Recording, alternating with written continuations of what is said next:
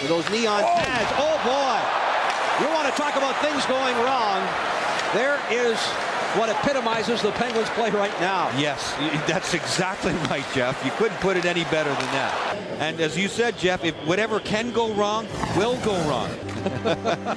Well, right as, as I kind of get into the zone on the right point, uh, the puck's turned over and quickly rimmed down. So I have so much goddamn speed from skating up the ice and dishing it and continuing to ra- uh, race into the play to become that fourth man that when I see the pucks cleared into the back end, I'm able to just start piston crossovers.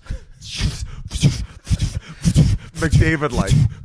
Like I have nasty. I got I got four feet of air in between me and the ice as I'm crossing over, and I am going as Rob Scuderi said, and it all leads back to him, as fast as he's ever seen me skate by our bench.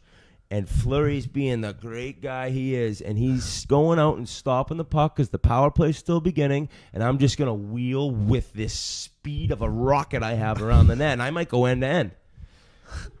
Well, about five feet in front of the uh, Fleury holding the puck for me, somebody from the stands, some asshole in Columbus, they chucked us. They chucked a two by four onto the ice, and it happened to just land right where I was skating. So I went flying. And for people who don't understand what I mean, I toe picked the shit out of myself. I went flying into Fleury, who had to try to jump over me, but still couldn't jump high enough. So I caught the very bottom of his pads, which ironically enough then spin him into like a full twist orbit. Exactly, because you get him at the area that'll change his whole body up in direction.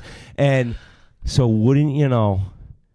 Dun-dun-dun, dun-dun-dun. The clip is me sliding into Fleury going on thousand miles an hour, and they just cut to like a Barbasol commercial. And Rob Scuderi had I Rob Scuderi's like a, a hard you gotta you gotta Oh, you gotta work to make him work- laugh. to get you get him to laugh. You said something funny.